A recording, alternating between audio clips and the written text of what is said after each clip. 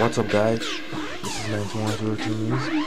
I'm just coming from the iStyle store and um, I went in there to get some accessories for connecting my iPod touch to the to my television.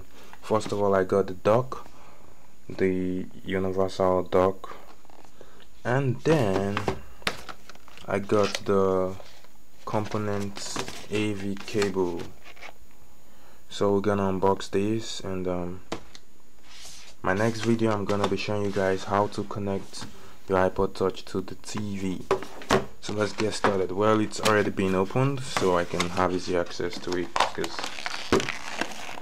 it easy. And then this is the components cable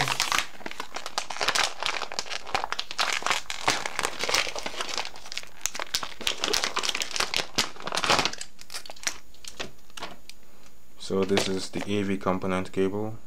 Hmm, pretty nice. And then it also comes with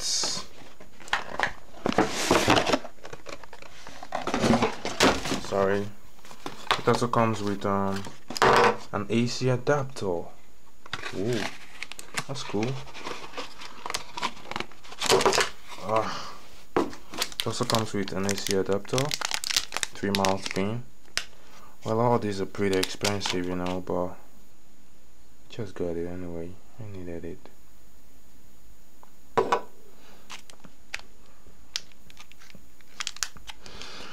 So it comes with a three mouth pin. That's all in the components. AV cable box. Yeah that's all. So let's get to the universal dock.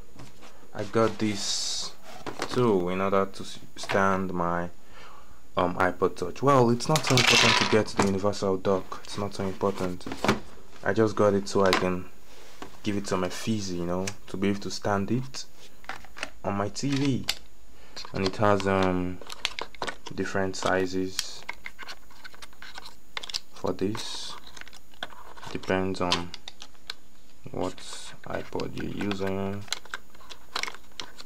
it's a universal dock come on go in. So this is the dock itself. Pretty nice. It also comes with a remote controller. Yeah cool. So now I can connect my iPod touch to my TV like I said it's not so important to have the dock you can just buy the AV cable if you want to save money just buy this. Well that's all. Now in my next video I'm gonna show you guys how to connect your TV with your iPod touch to the TV iPod touch iPhone um, iPod um, Nano or Classic it all works.